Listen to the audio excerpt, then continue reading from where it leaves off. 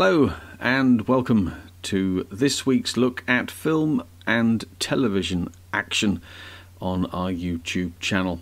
Um, now, over the last couple of weeks, we've been perusing the world of certain action sequences, would that be something that's referred to as relatively simple as falling downstairs, um, to turning cars over. Well, this week is High Falls. For me, one of those really exciting things. You know, you see it, and what's also exciting is that I know whether there's a written rule in action cinematography, but certainly from an editor's perspective, a high fall always looks better if it's filmed in slow motion and then covered by two or three cameras. So you get that initial fall, then you can cut at it from various angles, and it makes it look further, it makes it look more elegant. It's an art form after all. And on the strength of that, um, that's why we're going to have a look at some of these. High falls, I've had some experience of this. Um, because, as many of you will know, I've talked about it before. Uh, Roy Alon was very good in uh, giving me opportunities to learn from him um, when I first said that this was something that I wanted to do. The stunt business was something that I could see myself doing. Um, we did horse riding, not terribly successfully, admittedly, but we did horse riding. Um, that was towards the end.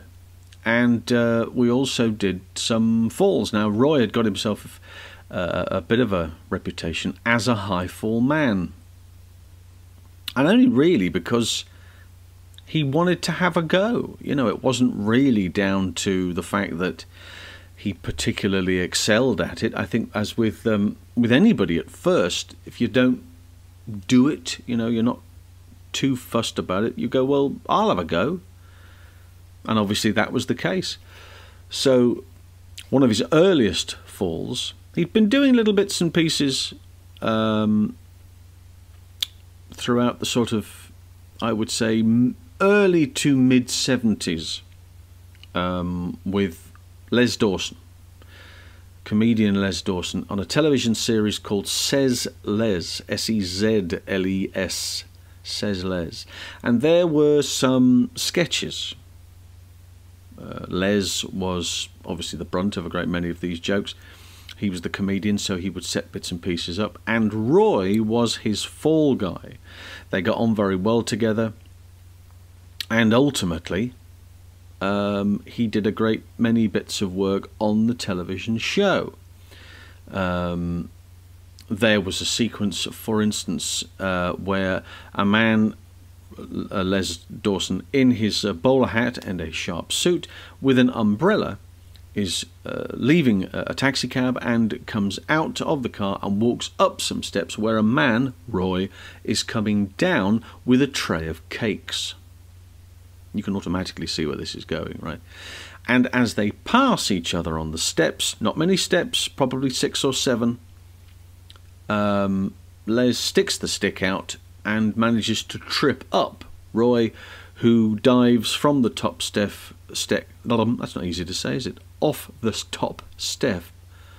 Off the top step. There we are. I knew I'd get it in the end. Three take Johnny, they call me. Um, and landing on the floor with cakes everywhere. Now, um, the camera then the, and the, the the payoff, the gag, is the camera panning over to a sign that says "Office for Accident Prevention." But big laugh. Well, that sort of stuff was a regular thing. Sketches, skits, bits of business, and Roy would be a window cleaner, a traffic warden, a mechanic. You know, whatever it took, he would turn up. So leading up to um, getting a job with um, uh, Vic Armstrong. Vic had asked him to go out and be part of his team for Green Ice um, in 1981. And the reason that had happened is because they had worked together before on Escape to Athena, um, where he falls through the roof of a Turkish bath. More or less the furthest he had fallen and this is what 50 60 feet i think but it's the way he has to do it and i learned from him that when you jump from 20 feet jumping from 20 feet into boxes and, and mats as we were doing then is very very different than jumping from 50 or 60 feet into an airbag because you're firstly oh, the, the obvious thing is that the hang time in the air is longer. And what happens in the air is that your body, this is again a psychological thing, but your body, inspired by your brain, your brain is saying, make sure you know where the bag is. Make sure you know you're going to you hit the middle. You've got to be at, right. Just keep watching the whole time before you hit the middle. But what happens is that when you look down, your body position tends to move um, Steve Wymant, a good example, and um, he will crop up in a little montage that we have coming up. But Steve Wyman was doing a motorcycle gag one day on Stuntman 86 and had to hit the wheel arch of a parked car with his motorcycle and leave the handlebars and go through the window of a shop, a patisserie. There's a cake theme going on here. Roy with his cakes earlier, uh, Steve going through the window of a cake shop. Now, as Greg Powell, the stunt coordinator, said later, oh, Steve's obviously very conscious about hitting his mark, which you have to do. You've got to hit that mark and hit it properly. And that bike's got to stick in that car. It can't just bounce off and come up through the window because that's that's a whole different ball game. That's very dangerous. You don't want to start doing that. No, no, no. So He's trying to spot the point where he has to make the impact. And because he's doing this,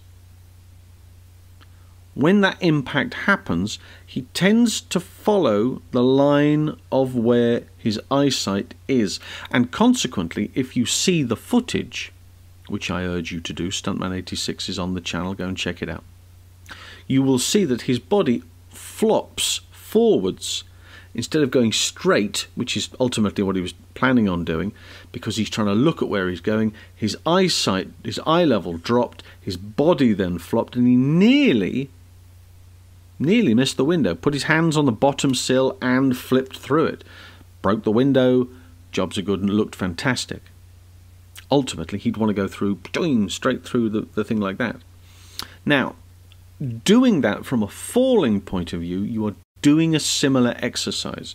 You are step for, and another thing to take into consideration is, is perspective, looking at it from the bottom and looking at it from the top. You stand down there at the bottom looking up, and you go, That's okay. I can do that. What's that?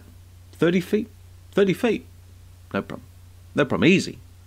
You get up there looking down, and that's when everything is different. The whole world falls away from you, and suddenly a 30 foot fall, and you've got this in your head. That's 30 feet.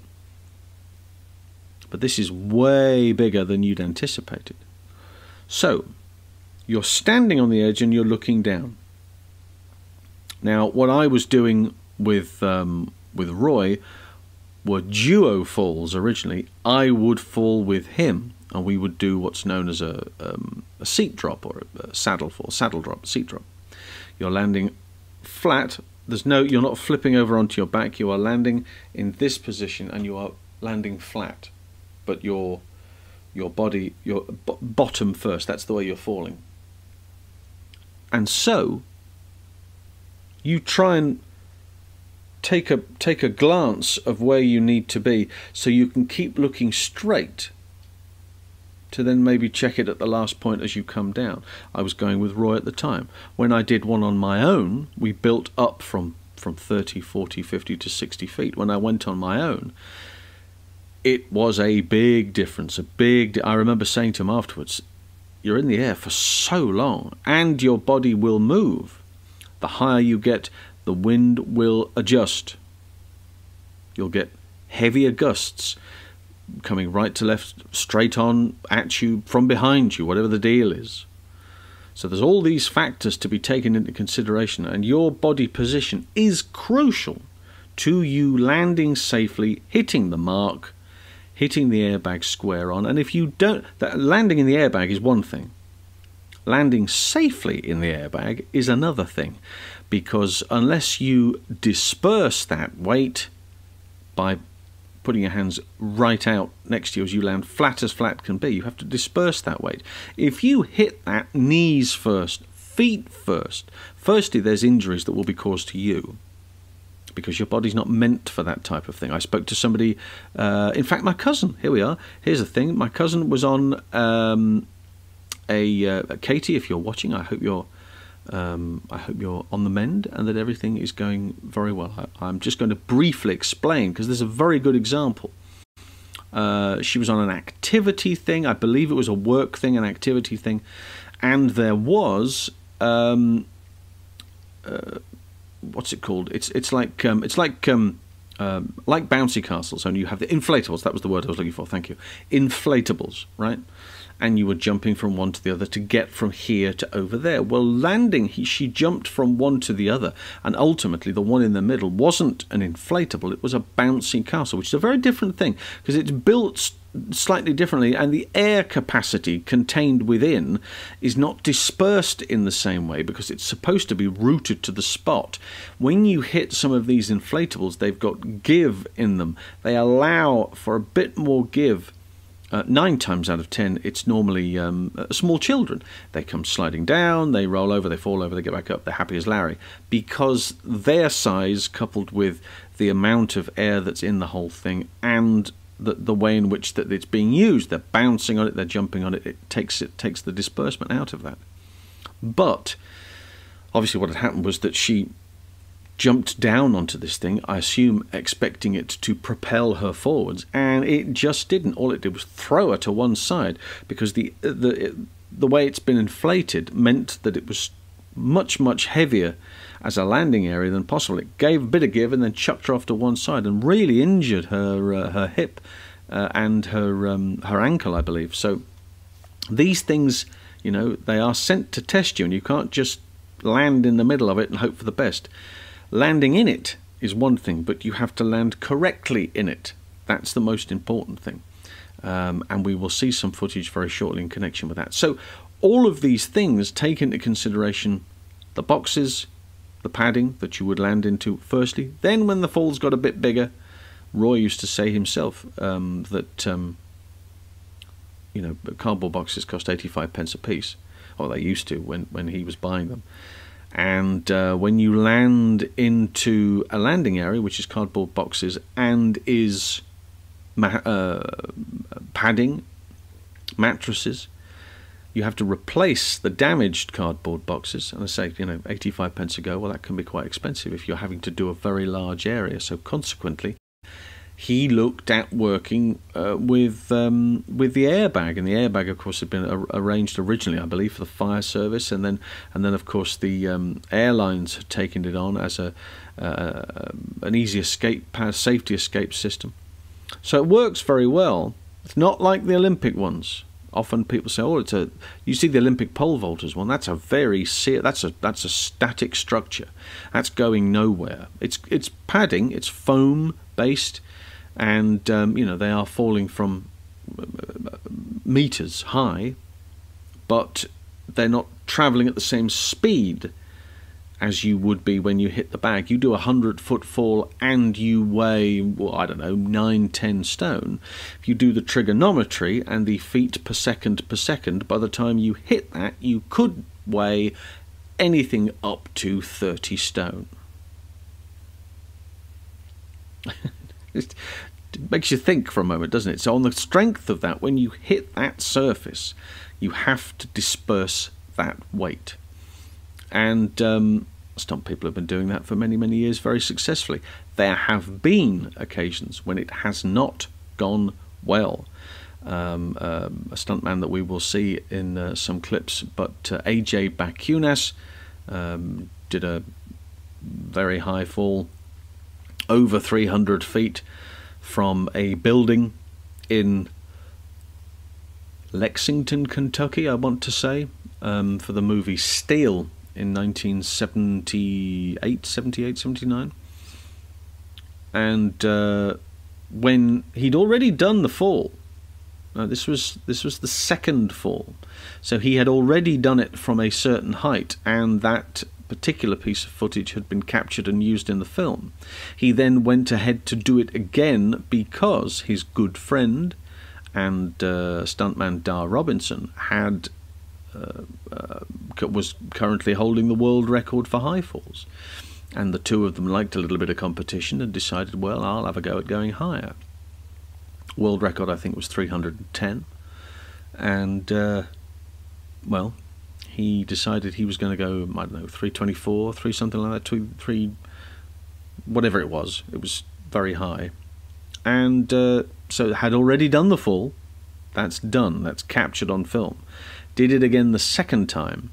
And uh, um, obviously, I don't know how, how many times this airbag had been used or how many occasions or what sort of um, beating it had taken over time. And obviously, they're safety tested to a point, but um, there was a seam which separated, and uh, he w- hit the airbag, went through the airbag, and landed on the floor.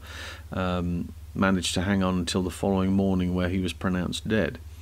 And that really does, you know, put you in, put the whole thing into some sort of perspective. Yes, they are falling from height. Yes, they are doing it instead of the actor because the actor doesn't need to do it. And yes, they are you know they're taking precautions. They have mats they have pads they have boxes or in these instances they have um, airbags. But it's not a fail safe situation. So on the strength of that let us take a look at some of the falls and uh, we'll talk you through it. Here it comes so here is Dar Robinson. Uh, it's effectively a base jump, but uh, he wasn't afraid to jump off anything at all. Here, on the other hand, is uh, Butch and Sundance. This is Mickey Gilbert and Howard Curtis, and it's a painting. There's no cliffs there at all. They're jumping from a cherry picker. Um, that's how it started. It was on the back lot, and there was a lake nearby which they had gone to. It was a man-made lake, as, as I remember and the initial jump you see is of the two actors, and they're jumping, I don't know, five, six feet. Then there's a cut to the two guys jumping from a cherry picker crane into the water, and the cliffs are matte paintings. Here is Grant Page in Australia on fire falling backwards into water. Now, look, he's positioned his hands in such a way because he knows it's coming and he's having to judge when, and he wants his hands to be the first thing to hit the water before his legs come right over his head. wow. This is Swashbuckler from 1976. Geoffrey Brown, Howard Curtis, and Chuck Waters are the three stunt performers leaping from the carriage as it goes over the edge of an 85 foot cliff. Um, the major concern here is getting away from the carriage and trying to be as far enough away from it as possible when it hits the water. You don't want to be landing on top of it. You don't want it to be landing on top of you. And uh, look at that. Geoffrey going in, diving in. Only just making it too. Extraordinary stuff. That might give you a better idea of the type of height we're looking at. Here's Martin Grace from Escape to Athena. This, I'm, well, this is an episode of The Fall Guy. I'm assuming uh, that that's Mickey Gilbert, although um, I know he was Lee Majors' double on a lot of the series. AJ Bakunas from the movie Hooper. And again, his positioning here is very interesting because he it's a swan dive and look at the way his legs come over the top of his head. Now he's still looking down. He's still looking to see where he's going to and that's 247 feet. Boom straight into the big airbag. That's him again from the movie The Stuntman. Similar positioning. Here Tony Smart doing the first part of a high fall and Vic Armstrong doing the rest in the movie The Omen. 3 Dar Robinson in Sharky's machine doubling Henry Silva, coming out of the window backwards, not being able to see his airbag. He's got a mask on, and because of the rotation that now takes place, he's landing sideways into his bag. This is Jeff uh, Jerry Hewitt uh, from the movie uh, Soldier, and timing crucial here. Got to go. Then the special effects set the bang off. Buddy Joe Hooker doubling Sylvester Stallone in the movie First Blood. Separate shots then of him falling through the trees. And from the same film, this is stuntman Bobby Sargent falling from a helicopter into an airbag below. Again, positioning is everything. This is Roy Alon. Take a look at his positioning in the air. Look, rotating his arms, rotating his arms, then tucking to get for the landing at the end. Steve Wyman with a tricky one in Death Wish 3 coming out and then having to spot the landing whilst turning at the same time his legs are coming up. He um, doesn't want those to come over his head. Tip tipping going backwards over a wall. And then in the same shot, they then use a dummy for this sequence. It's very odd. This is uh, well, the actor William Petersen. the movie is To Live and Die in L.A. The stuntman is Dar Robinson, and he is testing and using his decelerator. Look at his uh, right leg; it stays almost stationary. His left leg is doing a lot of the positioning, and when the tension kicks in, there. And that is what he then used on a number of different pictures. This is another good example of stick falling backwards, firing all six shots, 200 feet with no airbag, just that wire. There it kicks in now and then a dummy for the final shot. Absolutely extraordinary moment. Uh, more high falls this time. Dar again on the uh, in the dark jacket. On the, this side is uh, Mic Rodgers. This is Lethal Weapon, and they're doing the high part of the fall into an airbag,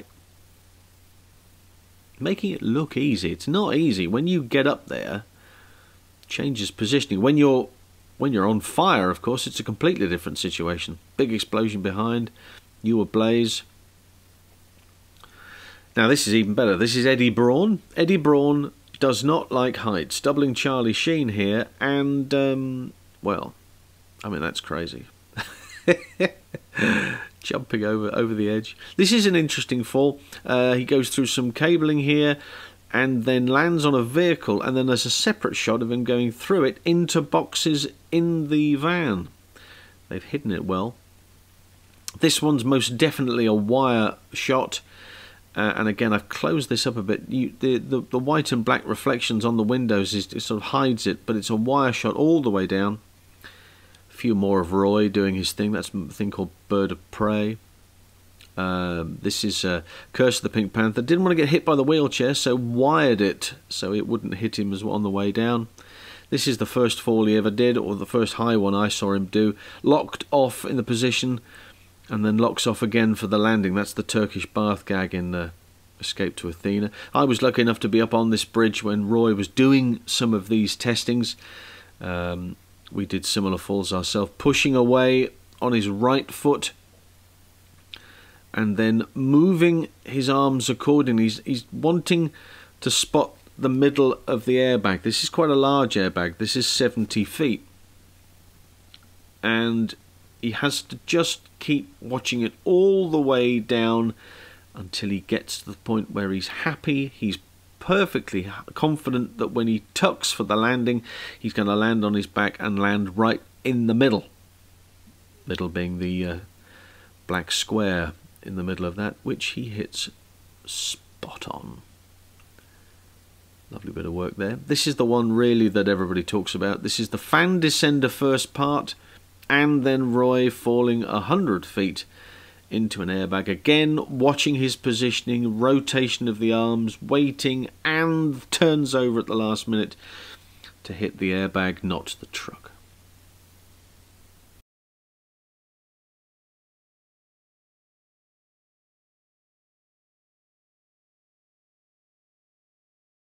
There you can see a vast array of high falls. Um, some of them are very well edited, some of them not so well edited. Um, some of them with cabling, um, which of course um, that falling green ice is just magnificent. I, just it appeals, and again, you know, I was very lucky to know Roy, so I had the opportunity of being able to ask him certain questions like, "What was that like?"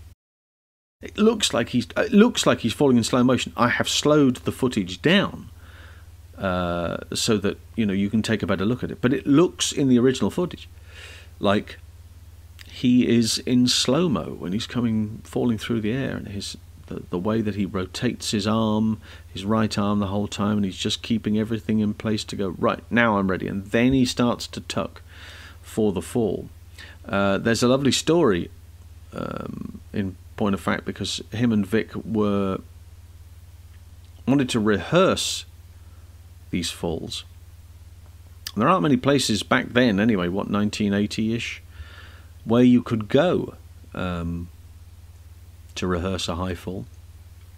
So Vic had managed to secure the um, airship sheds at RAF Cardington, and the two of them went off with um, Vic's airbag.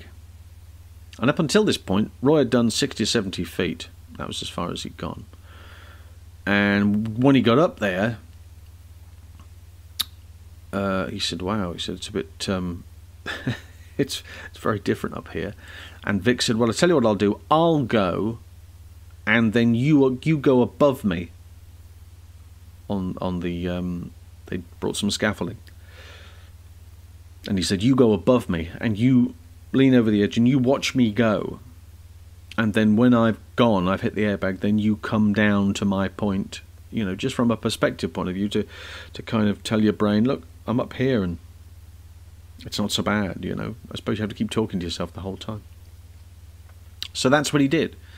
Um, he was about 15 feet above Vic, lying on the top, and then Vic jumped um, and dived out, and, and uh, Roy kept saying to himself, When's he going to tuck for the landing? Surely he's got to tuck now. When's he going to tuck for the landing? I mean, it just appeared as though it was taking so long to hit the hit the airbag, and then finally he did. He said, "Right," and he came down, and uh, on the radio, and he said, "Right, I'm ready." And Vic said, "We can't do it. The airbag's not. There's a problem with the airbag. We can't do it." Oh no! So the first time that he did it was on location in Mexico City. Um, and it is a remarkable fall. Vic, was, of course, was rehearsing for um, the one we saw there, which was uh, Omen 3, the final conflict. That was a viaduct of 100 feet. And, um, and, and Roy was rehearsing for the Green Ice one.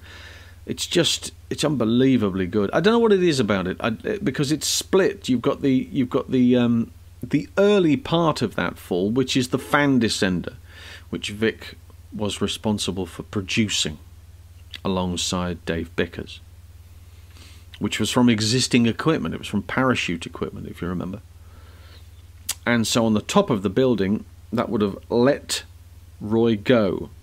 And he's going into camera, falling towards camera, and then they cut, and then it's the high fall into the uh, the truck. It's a it's a it's a water bottle truck, but obviously they'd uh, they had created an airbag at the bottom. It's absolutely majestic. There's a bunch of falls on there which are really spectacular. Dar Robinson's very obviously.